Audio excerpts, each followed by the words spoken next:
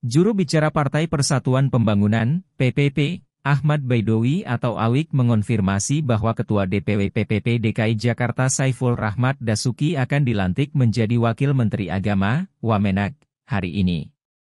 Awik berharap Saiful tetap ingat dengan PPP usai mengemban amanah sebagai Wamenak.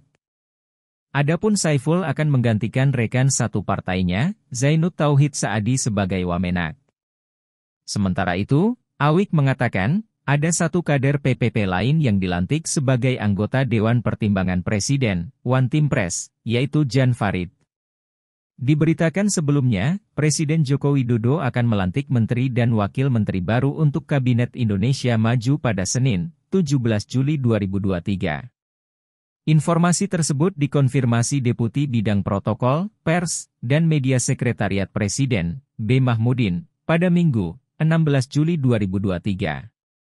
Namun, B belum menyampaikan perincian untuk jabatan apa saja pelantikan tersebut dan siapa saja nama-nama yang akan dilantik. Iya, karena dua-duanya itu kan beliau eh, kader P3 dan tentu eh, P3 memiliki eh, kader banyak ya. ya tentu kewenangan terakhir adalah ada pada eh, Bapak Presiden karena itu memang eh, hak prerogatif eh, Bapak Presiden. Terima kasih sudah nonton. Jangan lupa like, subscribe, dan share ya.